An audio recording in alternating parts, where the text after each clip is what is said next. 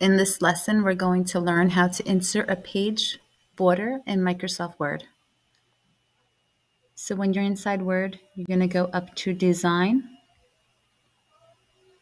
all the way to the right where it says Page Borders.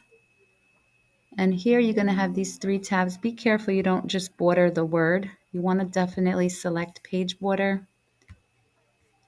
And then you can change the border here, the different width. You can also change the color of your border. Thanks. Bye.